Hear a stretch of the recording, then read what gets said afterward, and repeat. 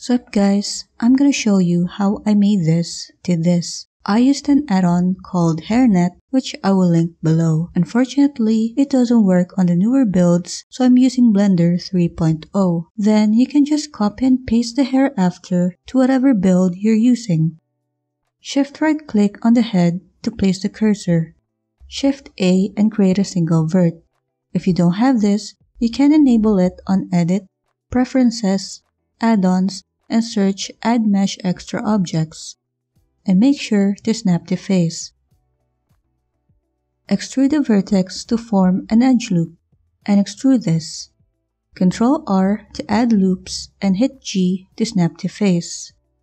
Select the edges depending on your hair direction, Ctrl I, hit X and delete edges. Then convert this to a curve. Create a circle, subdivide it a couple times, and move the vertices. Select the curve and select a circle for the object. This is good if you want to make some stylized or sculpted hair. Here, I'm just moving the vertices down so it looks like the hair isn't floating. For the hair particles, I'll just remove the object, then convert this to mesh. Go to the HairNet menu, check Emit Hair on Self, then Add Hair from Fiber Mesh. Then go to Particle Properties and just play with the settings. I can't explain this to be honest because I just play and see whatever looks good.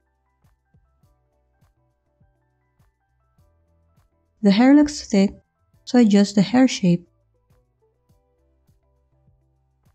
For the hair shader, I just use the principled hair, create a hair info or curves info for 3.2 users, then a color ramp. Then you can add some random white hairs as well.